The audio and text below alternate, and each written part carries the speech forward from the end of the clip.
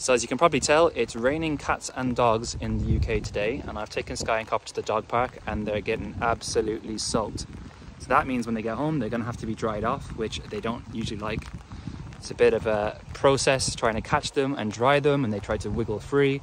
And then Copper does this really funny thing where he basically rolls around everywhere. I know a lot of dogs do it, but of course, when it's your own dogs, you probably find it a little bit more hilarious. So stay tuned for the Copper and Skye reaction to trying to dry themselves off after a very wet day at the dog park.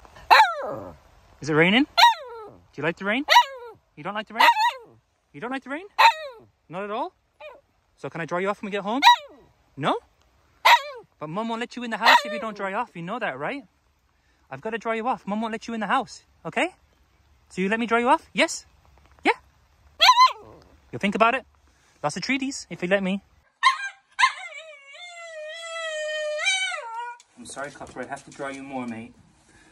You need to be dri dried a bit more, mate. You're very, very wet. It's too much floof, mate.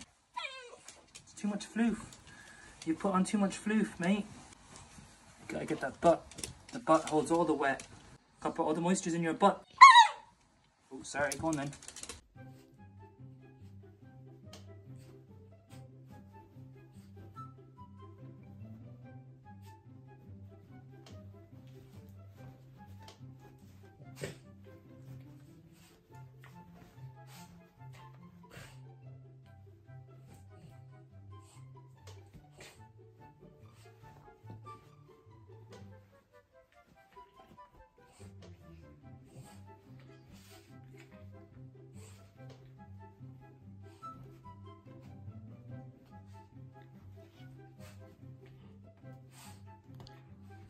What's he doing, Skye? Is he crazy?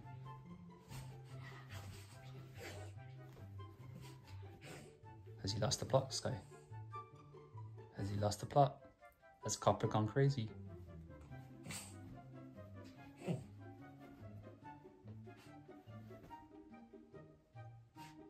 Copper, you crazy?